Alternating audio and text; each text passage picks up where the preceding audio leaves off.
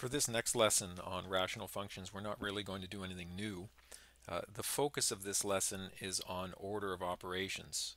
In English, one of the ways that we learn when we're young to uh, remember our order of operations is this BEDMAS, which is known as a mnemonic. It has these letters to help us remember the order. So the B stands for brackets, the E stands for exponents, and the really important part actually is down here. Division and multiplication are at the same order of precedence, meaning that they're equally important to each other. And so when you are doing an evaluation using division and multiplication, both of these come before addition and subtraction, but when it comes to each other, you just do them in order from left to right. So if you have something like A times B divided by C, you would do the multiplication first and you would do the division second. So it doesn't matter how convenient this is. You might look at this and say, oh, but b divided by c is actually something a lot easier. I can get that done and out of the way. If you do that, you are going to actually introduce an error into your work. So you have to do operations at the same level of precedence in order from left to right. Same thing is true for addition and subtraction. If you have a plus b minus c, you have to do the addition first and you have to do the subtraction second.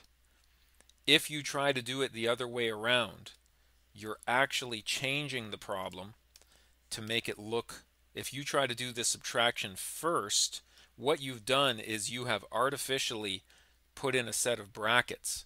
Now, in this case, because it's addition, that actually wouldn't cause a problem. But let's imagine that I had A minus B plus C. Let's do it that way. That's a better example.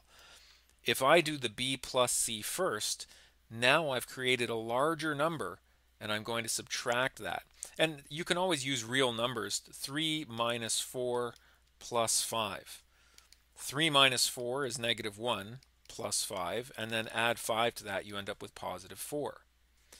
3 minus 4 plus 5, but I decide to do the plus 5 first. 3 minus 4 plus 5 is 9. I end up with negative 6.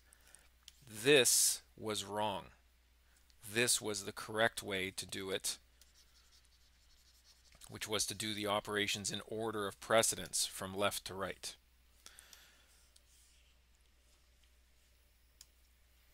Okay, so let's go ahead and move on to some examples of this.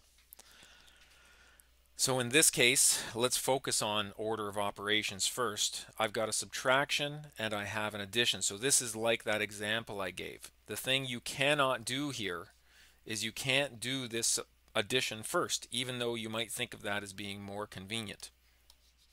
So the order that we have to do things is the subtraction followed by the addition. Now I'm not going to do either of those things yet because what I want to show you first of all is that we can put all of this stuff together into a common denominator and then we'll deal with our order of operations when it's more appropriate. So what am I going to do? Common denominators require me to put everything into factored form.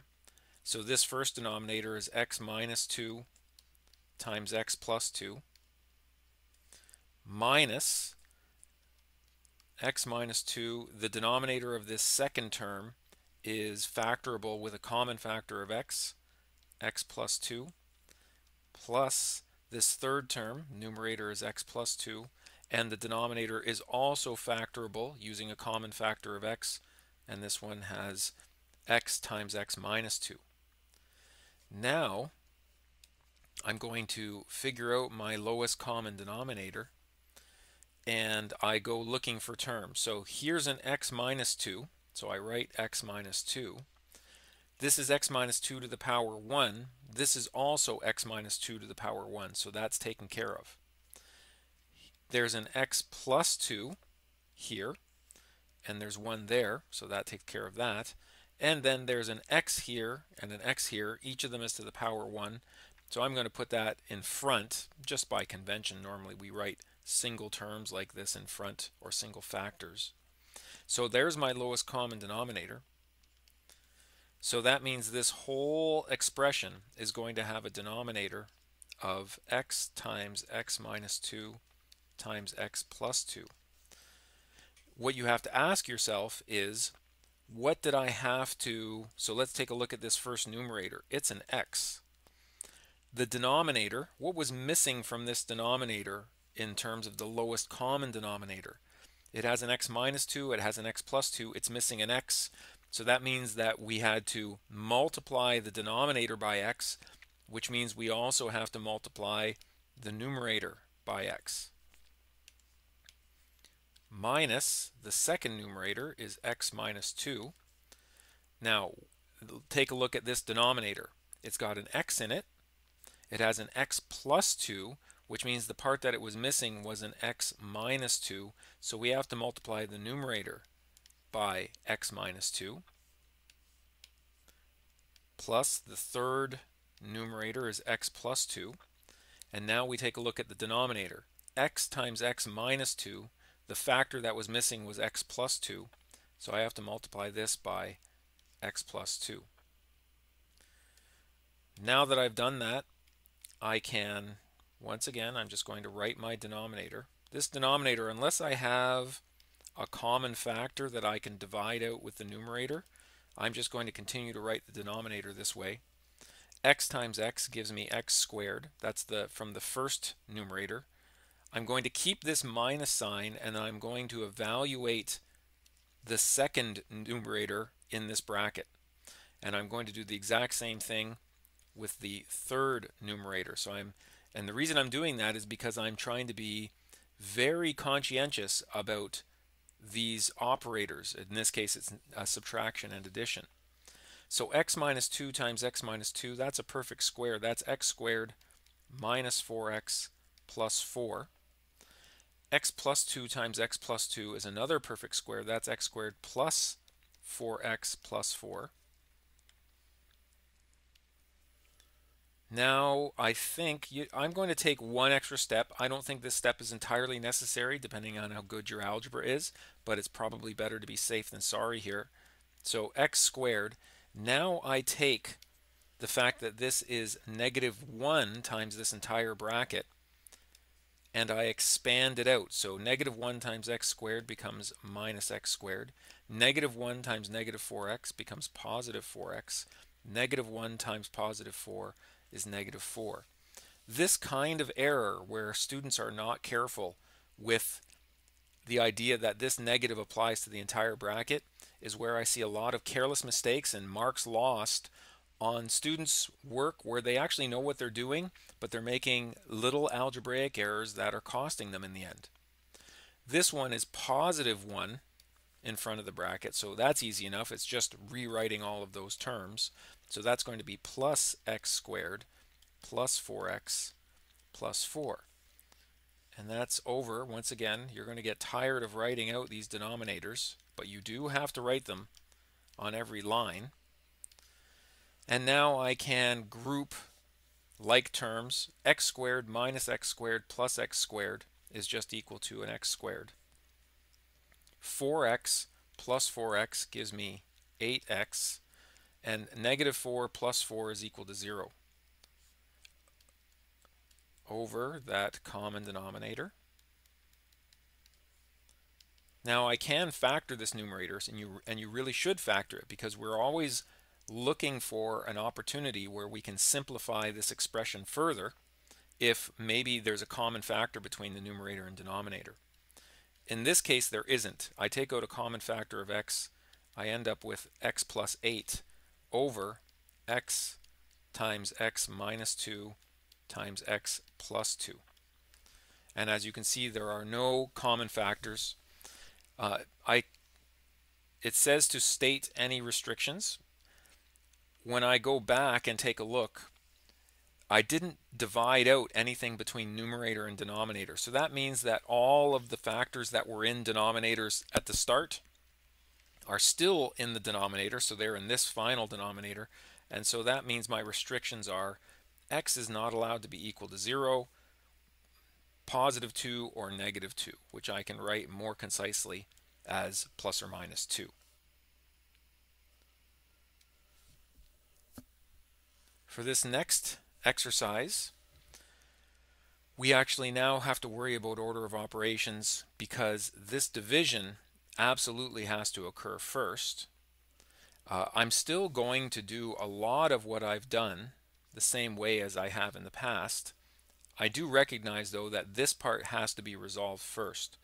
So this first term is 2 over x. That doesn't change and that's actually a pretty simple term that I've given you minus this second term, which is this entire operation, is uh, already factored.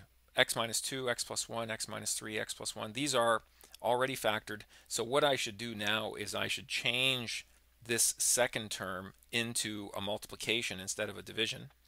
So x minus 2 over x plus 1. Now it's going to be multiplied by, I hate to use an x when I'm, uh, when I'm using variables of x for multiplication. So I'll use a dot instead. And now I take the reciprocal of that divisor and I end up with x plus 1 over x minus 3. I'm going to take the trouble to write out an extra step here, which you wouldn't necessarily have to do, which is I'm now going to combine these things together. When I have a fraction times another fraction, it's numerator times numerator, which is x minus 2 times x plus 1 over over x plus 1 times x minus 3. And the reason I took the time to write this is it's just a little bit clearer, especially because I wrote these as factors with brackets. It's just a little bit clearer that the factor x plus 1 divides into the factor x plus 1 one time each. So this actually results in a greatly simplified 2 over x minus, and now the second term has simplified to x minus 2 over x minus 3. And now we can deal with the idea of our lowest common denominator. Our lowest common denominator is going to have an x multiplied by an x minus 3. So now my lowest common denominator is x times x minus 3. I had a 2 here. And what did I have to multiply this x by to get this denominator? I had to multiply by x minus 3. So it becomes 2 times x minus 3 minus x minus 2. And what did I have to multiply this denominator x minus 3 by? I had to multiply it by x. So this x minus 2 gets multiplied by x.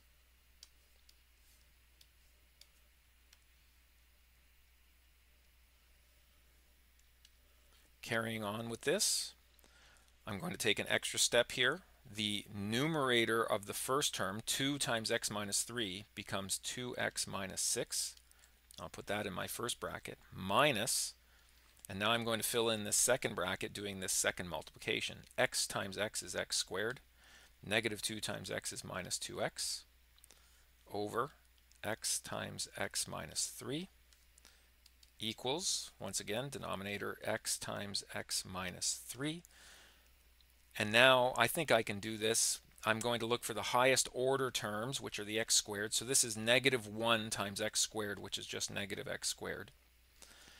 This is 2x times, or sorry, 2x minus negative 2x, which is the same as 2x plus 2x, which is plus 4x. And I have the last value is just a number. That's negative 6. You should be asking yourself whether or not you can factor this. I'm going to do that in rough work off to the side. Negative x squared plus 4x minus 6. It might be more convenient to factor out that negative sign.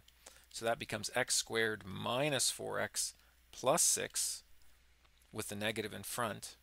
And now we want to ask ourselves, thinking about the sum and product, we have a sum of negative 4. The product is 1 times 6, which is 6. Are there two numbers that multiply together to give me 6 and add to give me negative 4?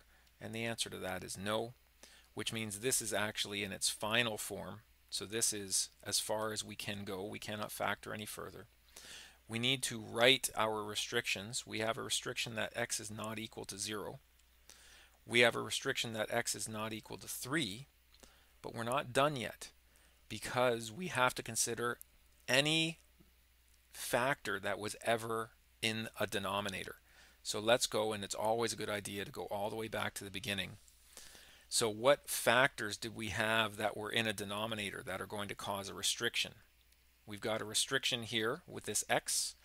We've got a restriction here with this x plus 1, which is the same as this restriction on this x plus 1. And then because we took the reciprocal of the divisor, we also have a restriction here on x minus 3. So my list of restrictions that I can see up here are x is not equal to 0, x is not equal to negative 1, and x is not equal to positive 3. In our final answer, we had the 0 and we had the 3, but the one we are missing is the negative 1. Okay, so that's it. Short lesson, just reminding you, or not reminding you, but pointing out to you some of the extra things you need to consider when you are starting to combine operations that might have different precedence. In this example, we had subtraction and division. There are some assigned questions, also just a couple of additional questions for some extra practice.